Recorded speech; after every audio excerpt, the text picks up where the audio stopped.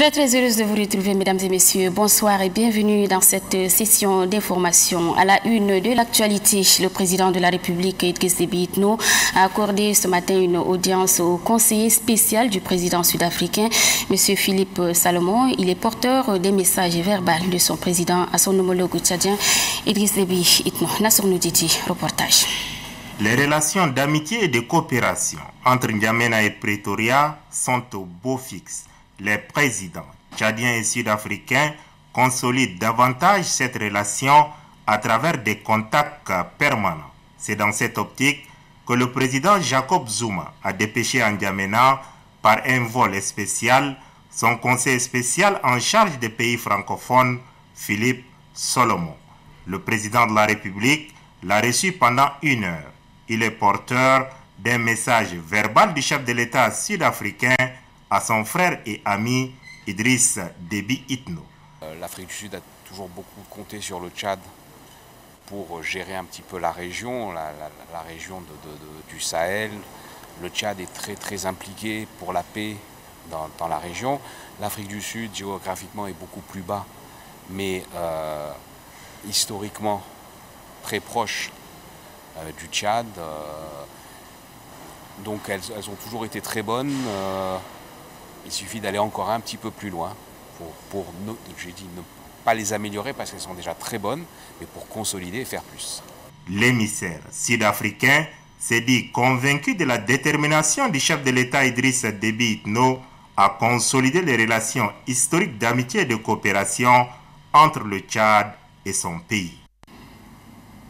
Sachez aussi que le chef de l'État reçoit depuis ce matin les différents regroupements des partis politiques de l'opposition démocratique, les membres de la coordination des partis politiques pour la défense de la Constitution CPDC et ceux de la Convention pour le changement et l'alternance démocratique CAD sont les premiers à être reçus par le président de la République. Le renforcement du processus démocratique était au centre de cette rencontre. Nous retrouvons Nasson Auditi. Garant des institutions de la République, et de la Constitution, le chef de l'État, Idriss Déby Itno, reste et demeure ouvert au dialogue politique pour renforcer le processus démocratique. Constant sur cette ligne directrice, il a ouvert ce jeudi 10 août 2017 ses portes aux 11 regroupements des partis politiques de l'opposition démocratique. À cette rencontre de concertation entre le chef de l'État et ses adversaires politiques, tous les sujets sont abordés sans tabou. Le premier groupe à répondre à l'invitation du président de la République et la coordination des partis politiques pour la défense de la Constitution, CPDC, conduit par le député Salibou Garba. Nous, en tant que CPDC, regroupement auquel appartient euh, Medar, euh, nous avons posé le problème de l'arrestation dans les conditions tumultueuses de notre camarade. Et le président de la République a été informé de notre désir d'aller lui rendre visite, parce que c'est quand même un de nos camarades. Une première équipe s'est rendue là-bas, il y a eu des, tensions, ça ne s'est pas bien passé. On a parlé d'agitateurs, et nous ne pensons pas que cela est nécessaire. Il faut que le calme revienne dans la ville de que cette tension, ces courtes poursuites dans la ville euh, cesse. Je crois que le président de la République est très sensible à cela. La Convention pour le changement et l'alternance démocratique, CAD, présidée par le député Jimé Ibi Langtar, est le deuxième regroupement à être consulté par le chef de l'État, Idriss Déby Itno. Sans langue de bois et en toute confraternité politique, la CAD a décliné au chef de l'État sa vision des consultations et de la tenue du forum en vue de la réforme institutionnelle de l'État. Aladoum Djarma Balthazar, rapporteur général de la Convention pour le changement et l'alternance démocratique. Nous avons échangé de la question des difficultés que le pays connaît, parlant des difficultés financières, de la crise sociale, euh, aussi de la question des réformes institutionnelles annoncées lors de sa campagne. Et donc, nous avons fait le tour, nous avons apporté nos propositions en même temps expliquer pourquoi la CAD, la Convention pour le changement et l'alternance démocratique, avait pris position de ne pas participer au forum. Et donc, à l'issue de ces discussions-là, nous avons rencontré un homme réceptif à qui nous avons fait des propositions palpables. Et si ces propositions sont prises en compte, nous allons pouvoir au moment opportun donner notre position à la personne.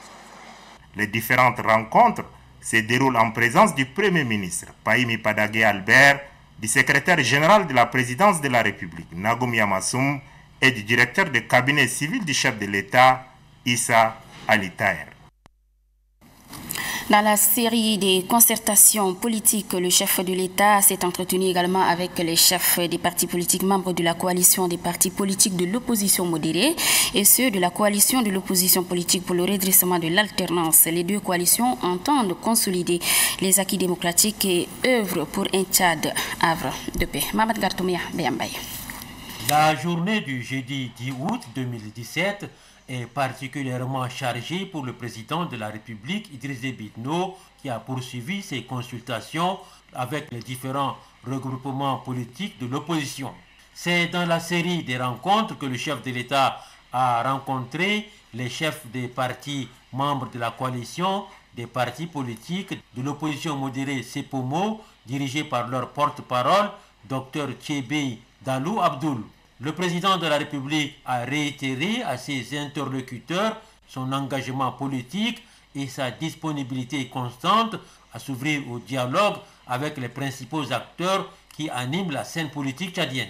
Selon Dr Thiébé Dalou Abdoul, la CEPOMO s'engage à accompagner le gouvernement pour la tenue prochaine du Forum national, véritable cadre de concertation propice permettant aux partis politiques de discuter par la voie du dialogue de la vie politique de notre pays.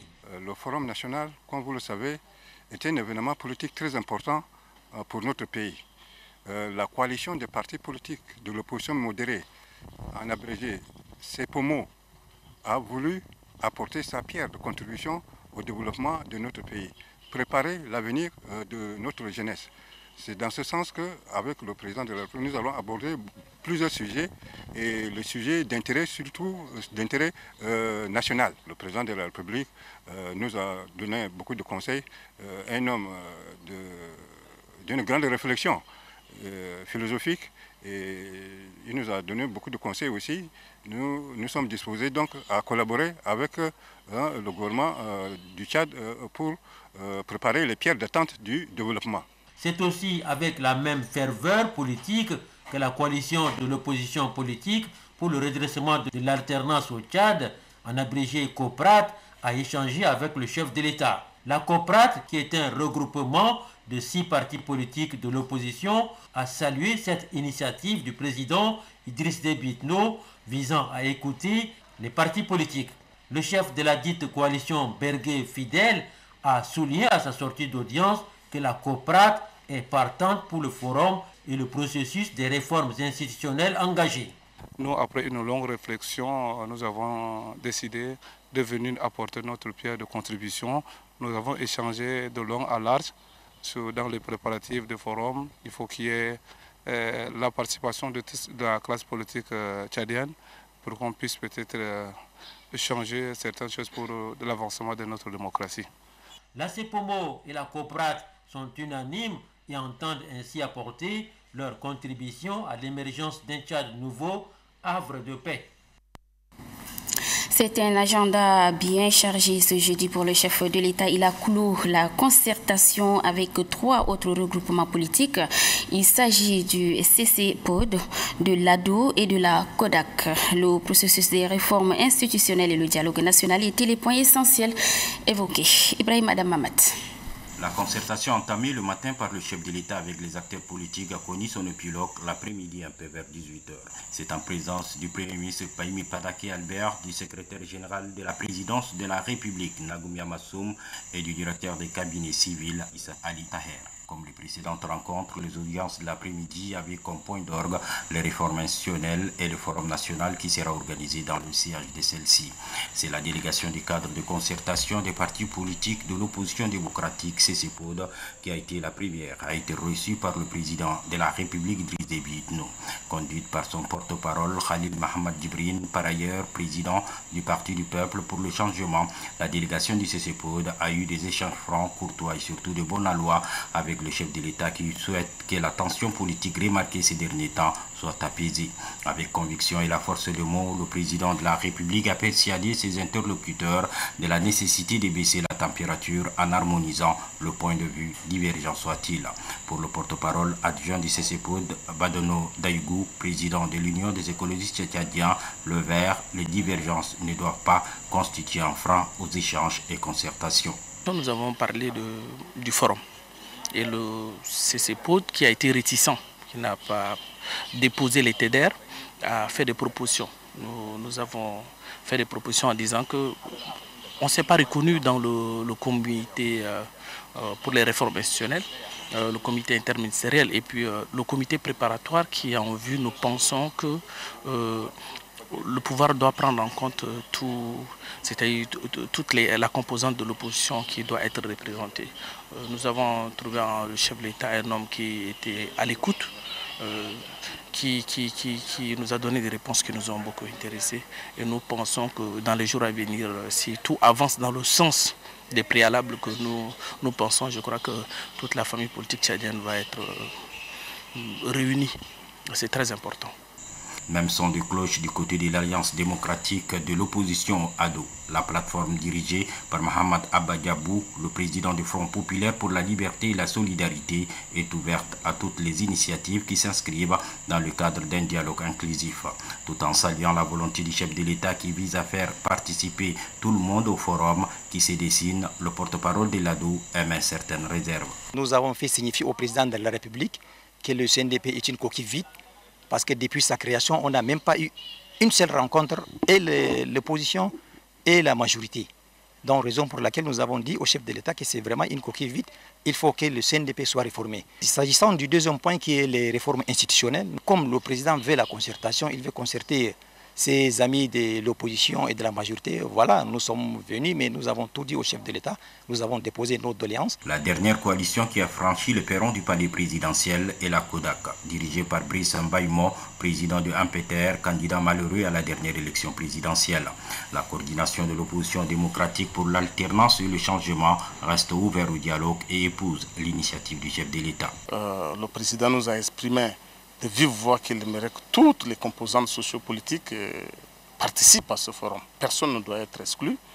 Euh, nous avons échangé sur notre réticence euh, formulée et nous avons été sincères avec le président en disant que par rapport à la décrispation qu'on a eue avec l'audience là, nous allons continuer à approfondir la réflexion ensemble pour que le forum se fasse.